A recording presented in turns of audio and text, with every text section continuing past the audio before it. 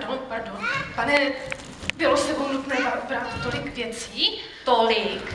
Polovinu jste mě donutil vyložit. Tak už si nestěžujte pořád, opravdu jste jak malý. Já mám také těžký kabát a říkám snad něco? Ne, pane Fogu, jste mladý, silný, statečný muž. Tak, pojďte, ať si pohlídáme nějaké pěkné místo u okýnka. Pardon, pardon, pardon.